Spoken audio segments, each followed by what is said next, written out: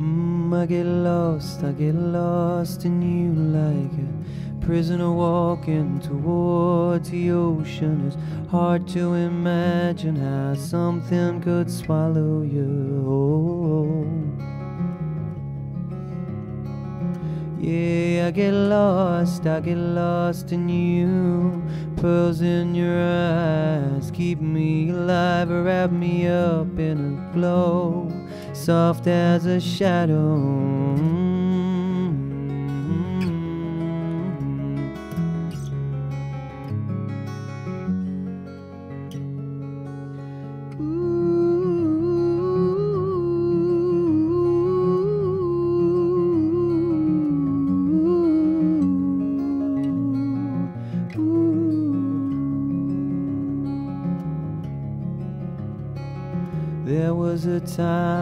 Would suffer in silence and feel like my pain didn't matter, didn't matter. I thought, keep on walking, just show your devotion. They don't know you at all.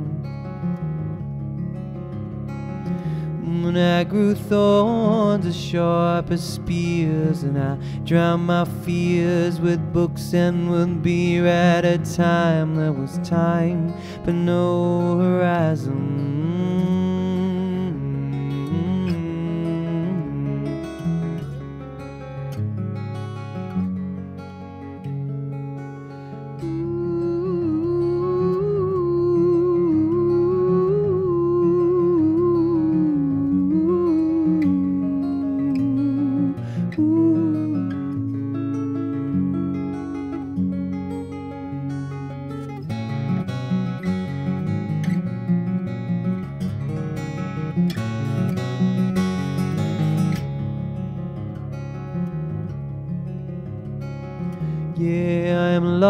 Lost, I am lost in you. I am no longer searching, I'm no longer yearning, just learning the freedom of floating on.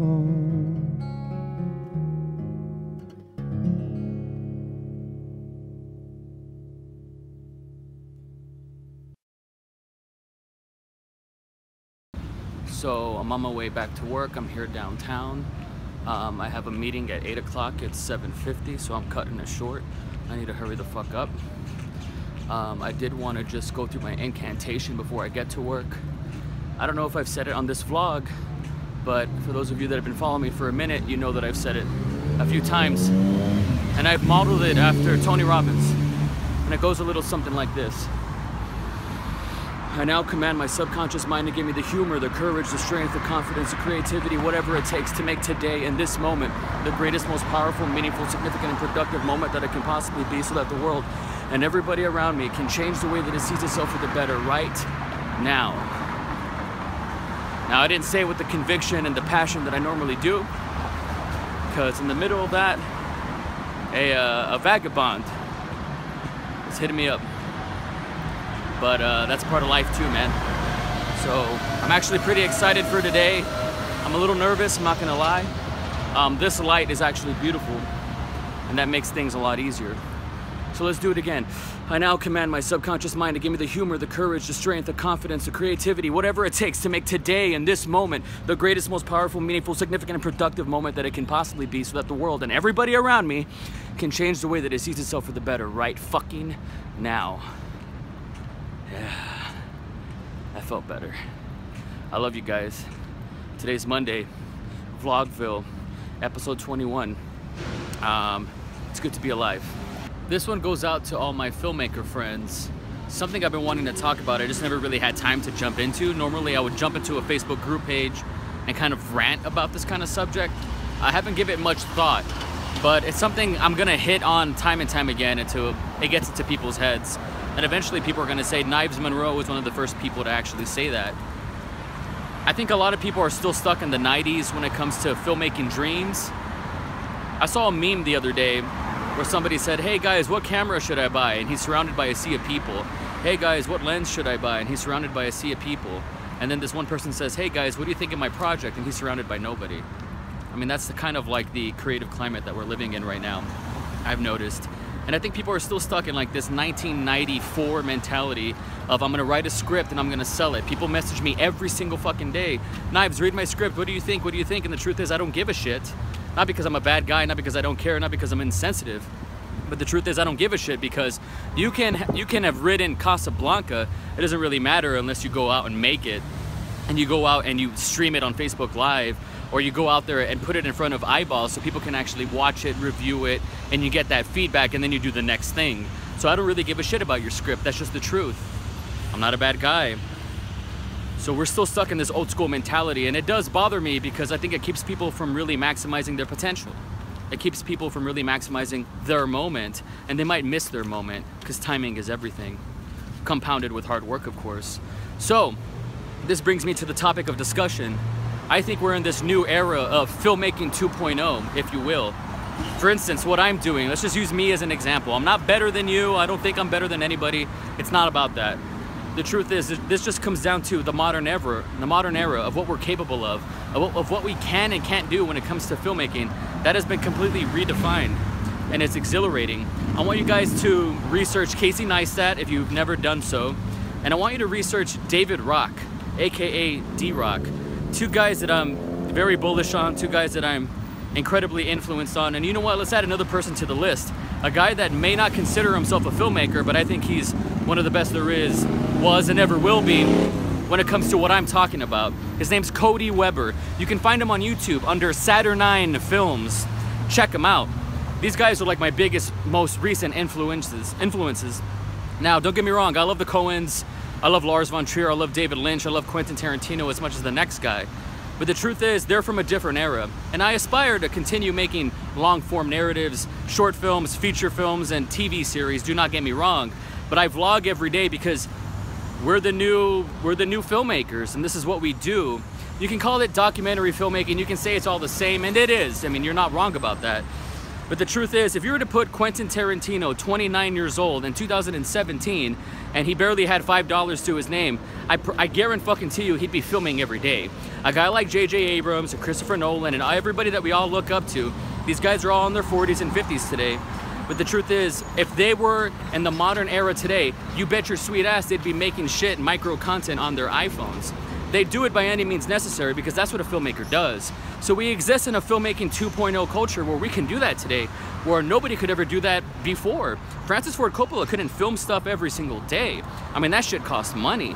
It's virtually inexpensive. It's basically no cost at this point. And I know I always hit that nail on the head, but it still needs to be said the truth is, I think it's an exhilarating time to be creative. And it's funny because once you once you have a project and you hear the crickets chirp, well then you know where you really are. And then you can really grow because then you have areas of opportunity. And then you have moments and, and weaknesses that you can kind of expand on if you want to, or you can just maximize and go all in on your fucking strengths. But I personally, I personally rec recommend that. So I might be talking too fast. You might have to go back from the beginning and watch this video all over again. But I'm gonna drop this in the Facebook group pages and I'm gonna drop this on YouTube. And people are gonna go back and say, this guy was right. And it's not about me versus you, it's me versus me. And I'm only saying this because I, I, I take a look and I think about this stuff. And I wanna see you guys become your instrument. Realize that things are cheaper than it's ever been, things are better than it's ever been, and we're in a new era, and you need to maximize that. It's a matter of fucking time between, uh, you know, before Facebook goes bullish and goes all in and decides to compete with Netflix, to compete with Hulu and Amazon, and attempt to try to take them out of business, the way Netflix took Blockbuster out of business. And the terms of indie filmmaking will once again be redefined. Where are you going to be on that battlefield when that time comes? Are you still going to be trying to sell your pilot? Or are you just going to be producing your own series like you can if you wanted to? Are you going to be selling your scripts like we, like we exist in 2001, like we exist in 1994? Or are you going to be doing it by any fucking means necessary no matter what every single day? Why leave all that opportunity and time and flexibility and technology on the table? Do what you can with what you have where you are. End of story. This is gonna be very inside baseball, so if filmmaking is not your thing, go ahead and skip this. That's what this whole episode's gonna be about. So I kind of wanted to expand on the filmmaking 2.0 thing, or the filmmaker 2.0 thing. The truth is, things have never been this way before. It's new. Um, it, it, it transcends freelance because now we get to tell the stories. Like Willy Wonka said, We are the music makers, and we are the dreamers of the dream. That's a luxury, man. All this shit is fucking decadence. You know, this is all first world problems, being creative. It never used to be this way, and I appreciate it. I'm gonna say something that is not gonna paint me in a positive light, but it's what it's what it really is. Um, a few months ago, a filmmaker contacted me and they wanted to collaborate and do stuff. I told them the best thing that I could do for them is create little mini documentaries and kind of follow them around and flip those little short stories into social media. And I think it was gonna be a good idea. Now at the time I didn't have any gear, all I had was this iPhone, which for some people isn't enough, right? For, for fuck's sake, I'm filming this vlog, this is episode 21, and I'm filming it on a selfie stick. For some people, that's not really impressive, right? But it's what I wanted to do. As a matter of fact, the best vlogs I've ever made have been on this phone, at any rate. Um, we had a little falling out. We just messaged each other right now, and I think we're gonna rekindle that, that relationship, which is good. All I'm trying to say is, things are redefined, and it can't just be all theory and no action, but it also can't be all action and no theory. You got to find a middle ground. And I think that's where I'm at right now with this filmmaking 2.0. I'm not trying to break any ground here. I'm not trying to reinvent the wheel. The truth is, it's in our court. And I decided to do a, da a daily vlog, and I get to filmmake every single day. And it's pretty lucrative for me. Eventually, I'm going to be able to afford and invest into a laptop so I'll be able to edit while I'm on the bus. That's going to be very lucrative for me. I came to Austin and I had nothing once again. I didn't even have gear. Uh, I traded whatever camera gear that I had left and I, and I upgraded into audio gear. And now I got the podcast that I do on the side with Dave, Back Beyond, link in the description. And I'm only saying that because I like to start from scratch, but now I'm kind of building and collecting stuff for myself uh, and it's great. And I really want to hold on to these things. Working with Robert Gardner has been an incredible experience for me. I learned a lot from this guy, not just with business, but also where he sees the future. And also his industry is just like a little snow globe. He's really gonna shatter that fucking glass ceiling. And I wanna be a part of that. But he's a, he's a partner of mine. And because of him, I'm able to do these sorts of things. All I had was my iPhone before I met him. And because of him, he's been a bit of a producer in my life. And I'm very fortunate for that.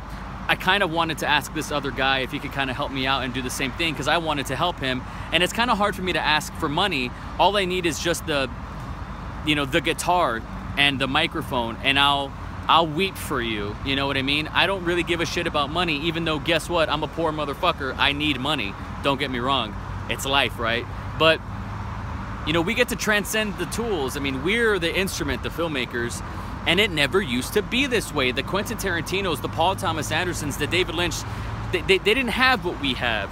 We get to do this stuff every day. We get to make quasi documentaries and post them on YouTube and post them on Facebook, and we get to be the future. It's fucking exciting. We get to exercise our medium, we get to exercise our craft and reach outside ourselves and get better every single day. You know, without the cost of millions of dollars, it's fucking exciting. And we get to storytell to boot.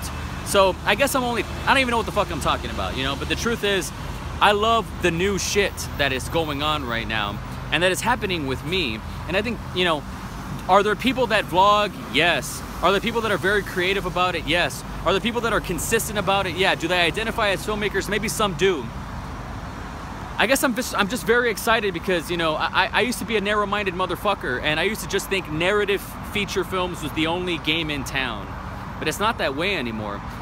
Once July is finished, I'm going to create a film out of all the vlogs that I've made, which I've saved, and I'm gonna create a little, I don't know, it could be 10 minutes, it could be 100 minutes, a little best of compilation of what I've done this month. And it's really gonna encapsulate my thesis and everything that I've been saying, not just this day in the life stuff, but also the new shit, the new long form, short form, narrative, filmmaking, whatchamacallit, doohickey, discma floppy, I don't know what you want to call it, and it doesn't matter. Labels don't matter. Actions combined with theory and execution is what stays, and it's what I want to leave behind. And it's all I've ever cared about. And I want people out there, the future collaborators that I'm going to work with one day, I want you to understand my intentions first and foremost. Like I said, this is very inside baseball. You might not give a shit about this, and I understand that, and I accept that, and I think that's fine. But for all the filmmakers out there that I have inspired and that I will continue to inspire and that inspire me, I want you to understand right now that this is the new shit and this is the thesis and we're making it up as we go along. But it's fucking exciting and it's never been a better time to be a filmmaker. The ball is in your court. Decide what you want to do with it. Oh, how do I monetize from that? How do I monetize? You know what? Eh, eh, there's only like three ways to monetize anything, man. But how do you make money and pay your bills doing this?